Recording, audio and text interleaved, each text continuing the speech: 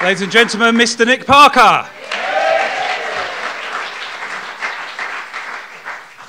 So, thank you for coming. Um, when I came up with this idea six months ago, I thought it would be me and Rob Poynton sitting in an empty room on our own.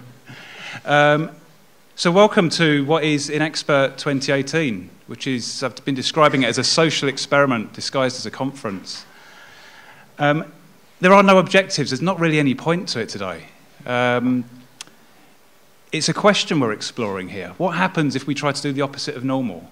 What happens if we do the opposite of common sense? Normally, you come to these things with the idea of going back with some answers or some uh, models or some tangible takeaways. If you leave with any of those today, we have all single handedly failed. uh, so there are no objectives, just curious questions. But there's a serious intent here. Um, and there's a certain amount of structure we've put around this day just to uh, allow us to experience something different. Let me just find my clicker. So, just enough structure, I think, is really important to make it feel safe for us and for the speakers. And I don't know if you've realised this isn't just about the speakers. Everyone in this room is part of this experiment. The speakers, myself, uh, Nick playing his trumpet, uh, Sophie doing the filming, Steve doing the, the photography, the guys at City Lit, everyone is part of this. Um, and to be honest, I, I sort of know what's going to happen. I think there'll be moments when the audience will find this more excruciating than the speakers. So we've got one little model that I wanted to share with you. It's a model I've borrowed from Rob, who you'll hear from later on. And it is this let go, notice more, and use everything. So let go of this having to be anything in particular. Let go of whether this is going well or not well, or good or bad. Because the, the fact is, this has never been done before, and it will never happen again which means that there isn't a bar that's been set. Yeah? So there's no, there's no bar to meet. And there's no best practice to take away because we'll never do it again. So just let go, and whatever it is, is whatever it is. Let, let go of whether you're judging whether the speakers are inexpert or not, or even a definition of what an expert is. I have to confess, I have no idea what Inexpert is. If I knew, I wouldn't be doing this experiment because I'd already know. And if we let go of all of that, it means that everything's an offer. It means that we can notice more.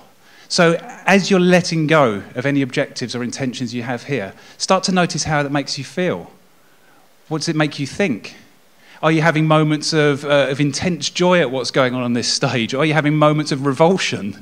Are you thinking, oh, this is a waste of time and money and effort? Whatever is happening, notice it. And just as you're sitting here right now, I mean, loads of people on Twitter today have been saying, I don't know what I'm going to. Neither do I. So maybe just shout out what, what are you noticing right now? What are you thinking? What are you feeling? What are your emotions saying? Just shout out some words. Happy. Yeah, one person's happy, right? Anything else? Excited? Anything else? Anticipation. Nice. Speakers, what's that going on for you? Nervous, relievers, neither we. Yeah. So notice, notice everything, and then use everything. So, whatever you notice is going to be a little clue as to what's going on. If you're noticing that the lack of tangible takeaways is dissatisfying for you, isn't that really interesting? Whatever happens is whatever's meant to happen. So, the design, there is a structure just to hold this loosely together, uh, is we're going to have three parts. We've got um, 13 speakers, I think. Um, unfortunately, both uh, Claire Genkai and Kieran Sondai couldn't make it today for very good not very good, very bad, and very unfortunate personal reasons. Uh, but Claire will be participating in some shape or form, as Zen ministers tend to. Um, it's nothing more high tech than she's written some words that, that we'll read later on. Um, uh, so we have three parts with a number of different speakers. Now, I know roughly what these speakers are going to be talking about, but I have no idea what the content is. So it's an exploration for them as well. Um, and some of it may involve audience participation, I've absolutely no idea. But there is one speaker you would have noticed. Um, this will happen in the third part, so the final part of the day. And if every single speaker has got a different format and a slightly different subject. So if you can stick here for the entire day, um, you'll be treated to the wonders of things like the inexpert debate later on. But there is one, the, the first speaker of the last slot is what we've called not known, is the wildcard speaker. And it's where this guy comes in here. At any point, this will be outside in reception. any of you in the audience can write your name on a little card and put it in the box. What will happen at the start of part three is I will put my hand into the mouth of the box. I will pull out a name and I will say, Our next speaker is, and then you will come walking down and you have 10 minutes, yeah, to give a talk on something you're passionate about but have no expertise in. There will definitely be names in this box, knowing a few people in the room. Um, so, by all means, put your names in.